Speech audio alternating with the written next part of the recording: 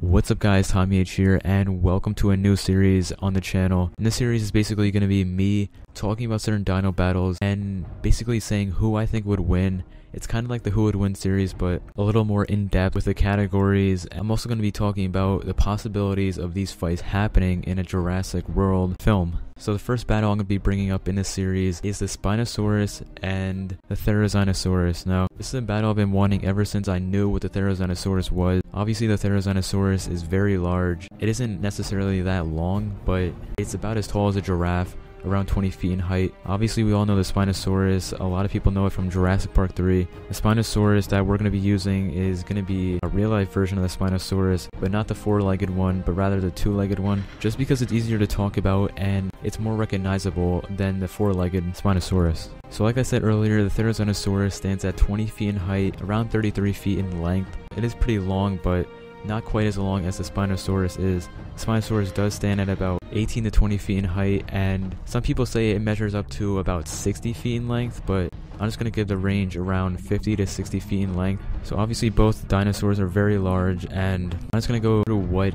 each dinosaur has over the other. Let's start off with the Therizinosaurus. Obviously, we know the Therizinosaurus has those huge claws. If it does use it properly, it could possibly do a ton of damage to the Spinosaurus, maybe even killing it eventually. That's definitely one advantage the Therizinosaurus has over the Spinosaurus. This could be a disadvantage and an advantage at the same time, and that is its long neck. This just keeps all of its important body parts up high instead of down low like most herbivores do. But the bad thing is it exposes its neck and the Spinosaurus could easily recognize that and go straight for their neck bite. But the Therizinosaurus is very familiar with fighting large theropods. Its main enemy is the Tarbosaurus, which is a much smaller cousin to the T-Rex. It definitely did get a lot of fighting experience from that dinosaur, but the Tarbosaurus doesn't really match up to the size and the strength of the Spinosaurus. Now we're going to go to the Spinosaurus. The Spinosaurus obviously has a very powerful bite force. When compared to a T-Rex, it's not very powerful, but when compared to most dinosaurs, it is a very powerful bite force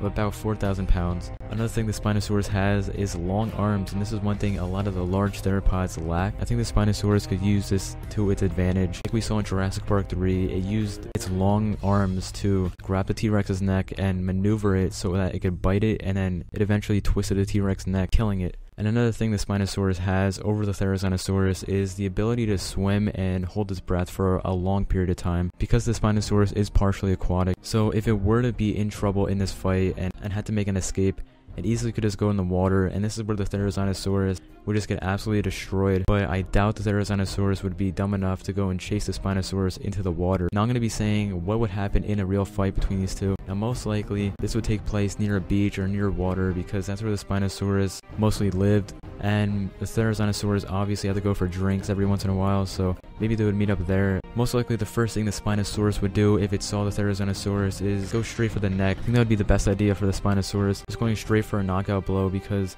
you definitely don't want to be in a long fight with a Therizinosaurus, especially with, with those long claws. And the Therizinosaurus, on the other hand, would probably go straight for a, a swipe and just try to wear down the Spinosaurus as much as it can. The size advantage and the power advantage, it will most likely be able to manhandle the Therizinosaurus, but I doubt the Therizinosaurus would go down without a fight. And honestly, I think the winner of this fight would probably be the Spinosaurus. And I'm going to be talking about the possibilities of this fight happening in a Jurassic World film. Now, we did see the Therizinosaurus on a screen in Jurassic World, so maybe they will bring the Therizinosaurus into the Jurassic World franchise. And as we all know, the Spinosaurus has been introduced to the Jurassic Park franchise, so it wouldn't be a bad idea to put the Spinosaurus in Jurassic World 2. And to put it up against a dinosaur like the Therizinosaurus would be a very good idea, and it would be a very good battle. Let me know what you guys think in the comment section below. Who do you think would win this fight? Do you agree with my choice? And what do you think about this fight happening in Jurassic World 2? And yeah guys, leave a like and have a nice day.